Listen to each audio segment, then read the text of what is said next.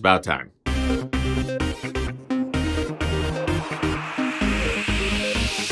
Ginger Runner.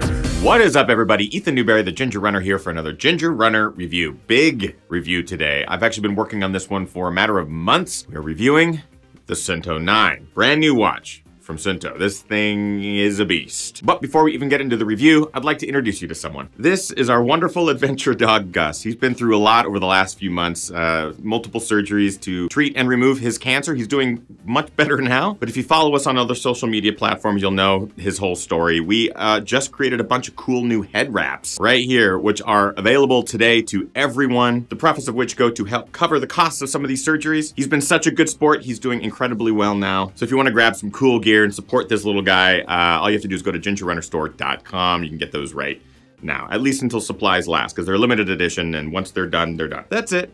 All right, buddy. Back to the review.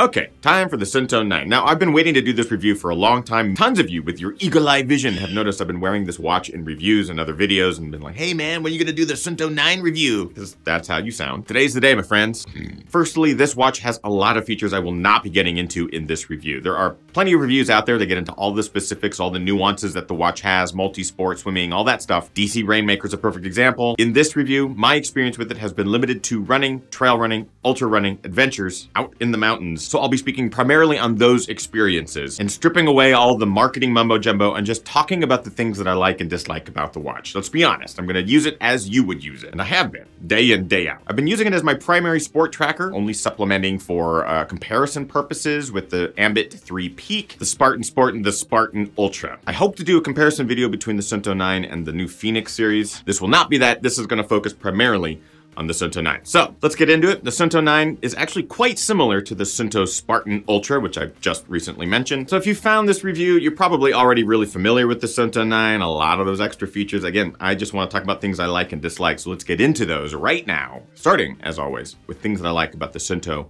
9. Battery. This is something that this watch does quite well. I'm starting with this like because I think it's one of the best implementations of long-lasting battery life in a watch that I've seen yet. The watch in its best settings, most accurate GPS signal can record up to 25-ish hours. And if you really throttle back the features, it can be extended up to 120, 130 hours. Those stats are impressive. That's over five days of continuous tracking. It's great for those multi-day stage races or, or Tor des Géants long adventures. Pretty cool. Now the stats are impressive, but that's not what makes me super happy. It's the implementation of the battery settings settings. Before every workout, you have the option of changing the battery mode quickly and efficiently just right here on the watch on the screen. So if you know that your workout's gonna take an extra long time, even before you start it, you can click those settings, change the battery life, set it and forget it. You don't have to worry about the app, you don't have to worry about connecting it to a computer. But let's say you forget to charge your watch, you're already in the middle of a workout and all of a sudden the watch gets down to about 10% battery power, it is going to actually ask you, would you like to change the battery settings to extend the life of the watch? It's such a simple concept. Hey, do you want to change the battery life while the battery's running out. But the fact that this is the first time I've really encountered that is wonderful. Even deeper, if you end up using the entire battery on the watch, it will continue to track in a timer sort of mode. All the features shut off, it just shows you the time of day, but it continues to track the timer of your activity in the background. For someone that hates having to charge my watch all the time, I'm looking at you, Apple iWatch. A lot of you people out there love those watches. I tend to not want to deal with a charge. Just hate feeling that my watch needs to be tethered to something at all times when I'm not using it. Sometimes I forget. Sometimes I'm lazy. Oh, yeah. Extra added bonus, it will learn when you do your longer workout. So if you tend to do a Saturday or Sunday long run, Thursday or Friday, it'll remind you, have you charged your watch? Again, simple tech, executed well, can all be done in watch, which from Suunto is a big deal. Customizing. This is the first Suunto that I've really got a chance to use where I can make the screens look like how I want them to look, or at least display the amount of data that I want them to display. Seven items of data. I can do altitude, elevation change, duration of activity, distance of activity, heart rate. You can do all of it. You can display up to seven pieces of info on one screen. You can switch between multiple screens. You can customize your own workout screens. That's helpful, and it's nice to be able to have that in the Suunto 9. Previous watches wouldn't let you. Features. This is the first watch from Suunto that I felt actually checked off all of the features. Heart rate, wrist-mounted heart rate monitor. GPS accuracy, battery life. and this watch, is the barometer version. It has a barometer, great for altitude, elevation gain. It takes all of that and puts it into one package. Normally, from Suunto, you'd be able to pick one or two of those items and you'd have to suffer on the other end. That led to a lot of questions from you, consumers, and myself included. Uh, which watch is best for me? Do I want something that tracks just vertical gain? One that does the wrist heart rate monitor? You'd have to pick and choose which watch based off of what specific item you'd want to track. Finally, a watch that kind of does it all. It's awesome. And finally, it's quick. So I noticed in previous Suunto watches I've used that the screens, you'd be switching between them and it wouldn't move very quickly. The UI just wasn't a quick or reactive user interface. It's just really buggy. This one's improved, and not only on the screen and the watch itself, but just connecting to MovesCount or the Suunto app on your phone. It's quick, it's efficient, the uploads move much faster than they have in the past. It's improved, so I gotta call it out as a like. Now that is all well and good. Those are things that I like about this new Suunto 9. There are things I dislike. First of all, trust. The relationship between a runner and a watch is an intimate and unique relationship. You spend hundreds of dollars on a little device that straps to your wrist in hopes that it collects accurate and informative data. You want all that data to be valuable. The only way for it to be valuable is if it is accurate. If I run six miles, I hope that the watch would confirm that I ran six miles and not short or inflate the results. Same with heart rate stats, elevation gain, altitude. My relationship with the 9 has actually been rocky from the start. It's smoothed out a little bit, but to be honest, it's not built on a foundation of trust. Most of my midweek runs are either out and back or set distances. Often on the out and back, the watch will overread on outbound and underread on inbound. The results are fine in the end, but while you're in the middle middle of a workout, it's aggravating. The first big event that I used the Suunto 9 to track was my 100K 100K. It was a live event. You can go back and watch all 14 hours of the live stream. The Suunto 9 worked great up until about the last eight miles or so when it just decided to stop updating. I would have to wait 10 or 15 minutes before it would actually click over, which would result in additional miles. I was constantly looking at my wrist, just trying to figure out when am I gonna click over to 62 miles. Ended up going over in the long run. I don't know what happened. Suunto doesn't know what happened. It was just one of my first experiences with the watch that made me go,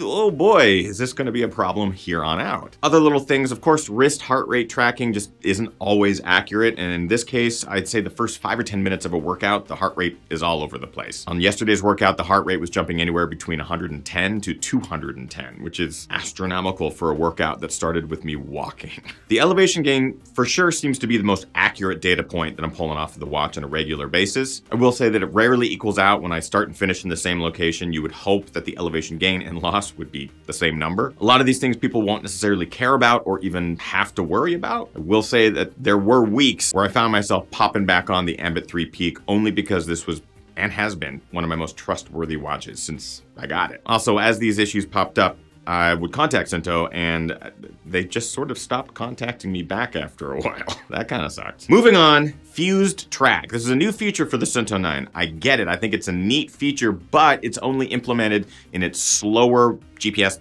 pinging modes, which is Endurance, where the GPS pings every one minute, or Ultra, which is the GPS pings every two minutes. So basically, Fuse Track takes those data points and uses additional data somehow to connect these dots with smoother lines. So rather than just saying you went from point A to point B in a straight line, you went from point A to point B and somehow fills in the gaps. I'm curious how they fill in those gaps. I wish that it was a technology that was implemented in the other GPS tracking modes and not just those long duration tracking modes because the tech seems cool, seems logical if the maths are right. But the fact that it isn't implemented in those 1 to 10 second GPS ping modes kind of sucks because what you end up getting especially in the 10 second mode, are 10 second straight lines. Fill in the gaps. Night use. So this actually became one of the most aggravating parts of the Suunto 9 was just activating the backlight when running at night is kind of tedious. When set in a normal battery mode, the backlight on the watch turns off when not in use. Makes perfect sense. To reactivate the backlight, you can press any of the three buttons. Unfortunately, if you press one of those three buttons, it either pauses the workout, moves to another screen, or activates an interval. You can bypass that by holding down the middle button, going to the menus, going through a couple menus to get to backlight and turning it on permanently while you're running. Then you got a glowing orb on your wrist, which then reduces some of that battery life. I would love for there to be a dedicated light button, such as there is on the old Ambit 3 Peak. I want to be able to look look down at my wrist, either press a button or just see what's going on without having to worry about wasting battery life or keeping the watch light on on my wrist the entire time. There's a bunch of different modes and different settings that you can do to double tap activate the backlight. That hasn't worked on my watch at all, no matter what settings I put into it. So running at night or even in that transitional period where you need to see your watch screen is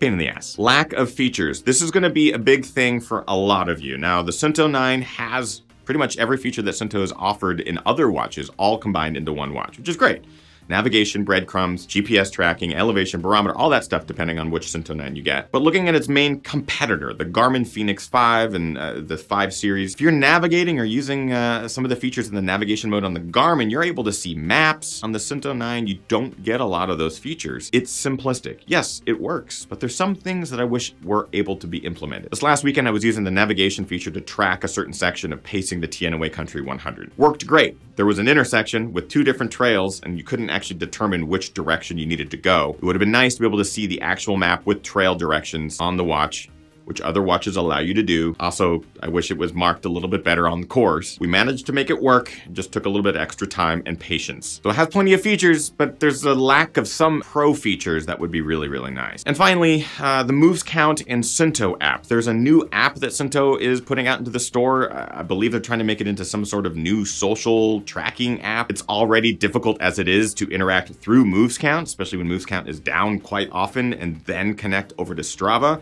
We'll see if this new app connects to Strava eventually. It's not necessarily in the plans or in their announcement, but having to work between two different apps to get your data uploaded to be able to track it and look at it, it's a bit annoying. And the fact that you cannot design a workout and put that onto this watch like you could in the former Ambit 3 series, I like I'm so bummed about that. You can activate intervals, but you can't design a workout. A long warm up, smaller intervals followed by a longer interval or warm up or cool down. It just, it's a feature they've had in other watches. I wish that was in the Suunto 9. Maybe in future updates to this watch, the developers, which is a small team at Suunto, maybe they'll come out with some ways for uh, that to actually be implemented. I hope We'll see. But those things aside, uh, the watch has been nice to use on my wrist. It's great to collect all the data all together. I've come to trust it more than I did initially, which is good. I no longer find myself reaching for the Ambit 3 Peak. Uh, this is my go-to watch at all times. I wear it all day, every day. Tracks the sleep if you want to do that. You know, does all that stuff. There's lots of little things. Lots of little things that make me go, Ooh. So in conclusion, let's get into more specificity. Uh, the quality of the watch.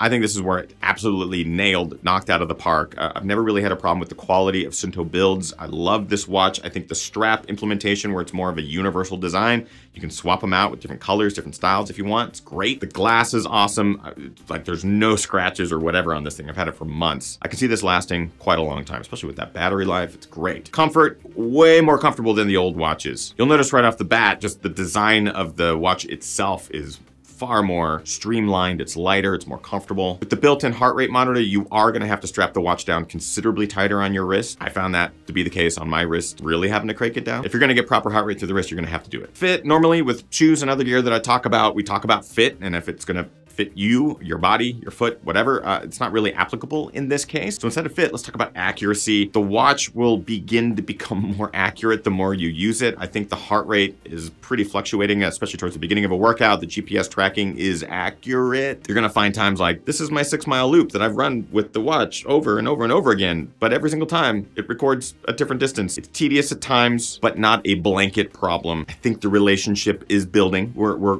trusting each other a little bit more, which is something to be said for a watch this expensive, which brings me to price, $599 for this, the barometer version, or 499 for the non-barometer version. Uh, definitely helps with elevation gain, altitude, that sort of thing.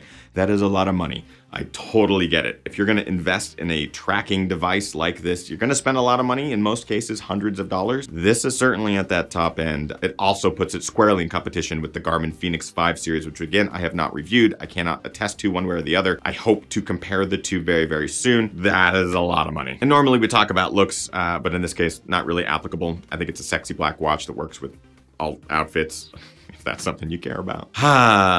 So that brings us to our last point is the Suunto 9, a buy, try, or a Y. In this case, if you are looking for a sport tracking watch that covers all your bases, whether it's trail running, adventuring out in the mountains, skiing, alpine, you know, does everything, which most of the watches at this price point will do, I'm gonna say it's a try because I have not yet tried the Fenix 5. I do think this gets you everything that you would need, the heart rate, the tracking, the navigation, everything in a very durable, nice package. I've been using this uh, now primarily as my only watch. What it lacks in some features, I think it excels in its simplicity. So if you're juggling between the Fenix 5 and another watch, you gotta throw the Suunto 9 in there. So that, my friends, is it for my review of the Suunto 9. Have you got a chance to wear it, use it, track with it? What are your results? I wanna know. In the comments of this video, let me know what your experiences have been with the Suunto 9 or other Suunto products, or are you using the Garmin Fenix 5? Is that thing just crushing it? Are you running into problems? I know my experience with the Fenix first version was garbage, and I know they've improved a lot upon it over the last couple of years. So hopefully uh, we got some competition here. And that my friends, is it for the review. Again, if you want more information or you want to get a Suunto 9 for yourself, I've got links in the description. It'll take you over to Running Warehouse. It helps the channel, so consider it if it is something that you are looking to snag. I also have a link in the description to our wonderful brand new limited edition head wraps. Uh, consider these if you have not already. I hope you guys liked this review. If you did, make sure you like, favorite, and subscribe to this channel. Click the little notification bell to be updated anytime that we upload a video here. Social media links will get you to those places. And at the bottom there, patreon.com slash the ginger runner for as little as a dollar a month. You support everything that we do here. You get some cool perks on the back end.